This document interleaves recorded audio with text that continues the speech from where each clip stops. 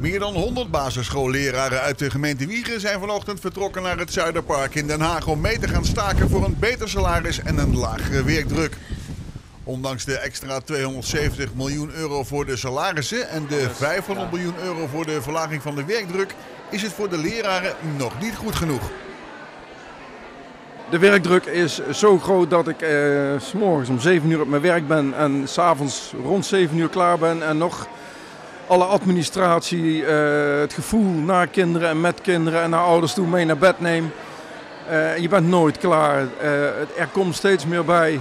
En het, het gezellig met kinderen, het lekker met kinderen, het voorbereiden met kinderen. Het, daar heb je nauwelijks tijd voor. Er komt zoveel op je dak en dan moet zoveel verantwoording afgelegd worden. Het is één papierwinkel verwachting is vooral ja, dat we een statement maken richting de politiek. Hè. Er zijn nu een aantal dingen toegezegd. Die 270 miljoen hebben we al gehoord. Gisteren kwam het bericht van 500 miljoen voor de werkdruk.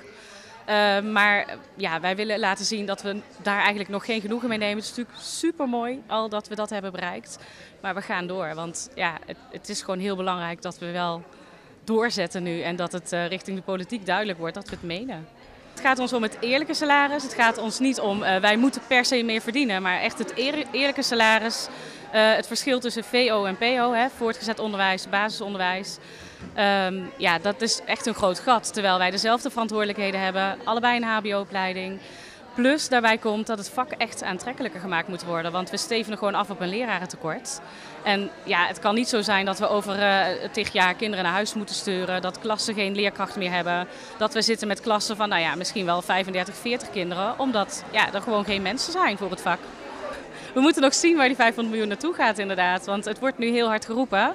Maar ja, de vraag is hoe wordt het echt besteed?